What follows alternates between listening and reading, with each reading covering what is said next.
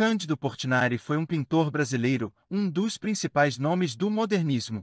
Portinari nasceu em Brodowski, no interior de São Paulo, no dia 30 de dezembro de 1930. Aos seis anos já começava a desenhar. Não concluiu o curso primário e aos 14 anos participou da restauração da igreja de Brodowski.